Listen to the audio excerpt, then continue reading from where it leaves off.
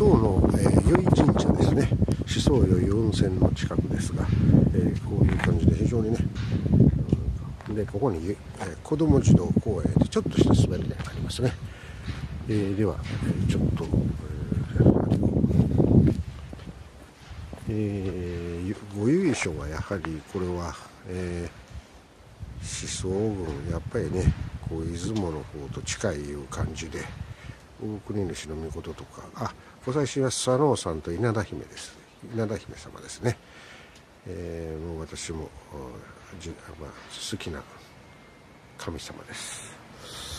えー、それでこれは神社のいろんなね植物が生えているということでやはり古い神社だけあってね、えー、こういう自然崇拝じゃないですけども自然が非常にね、大切に守られてるという感じ大体古いお社はこういう感じのとこ多いですよねはいではちょっとお参りしていきましょう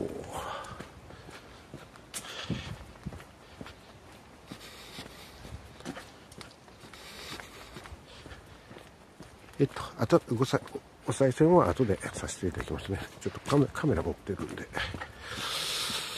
えー、すごいですね、これね。えー、っと、なんか一位が潮ヶ崎通りかかりで見かけたような気がしたんやけどね。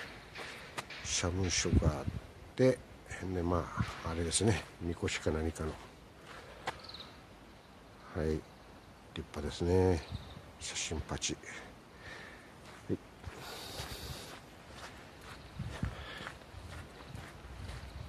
天井無休と書いてあるうんはいどうもこんにちは狛犬さん可愛らしいな。あーと運ね。はい。カラスが鳴いてある。はははは。なかなかのね彫り物ですねこれ。ちょっと爆笑か。こういう感じですね。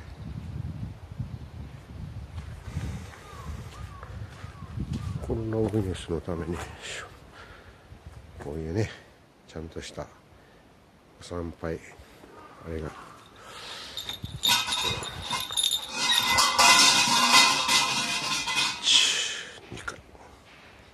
と拍手はねあれして軽くさせてもらってでお賽銭をねさせていただきましょう。はい。まあそんな感じでねえー、非常に落ち着いたいいお社かと思います。神社かと思います。ではまたよろしく、えー、大木をちょっと見落としておりましたのでねこれだけちょっとまた、えっと、と動画にアップをさせていただきます。すごい大木ですね。はい。それではまた。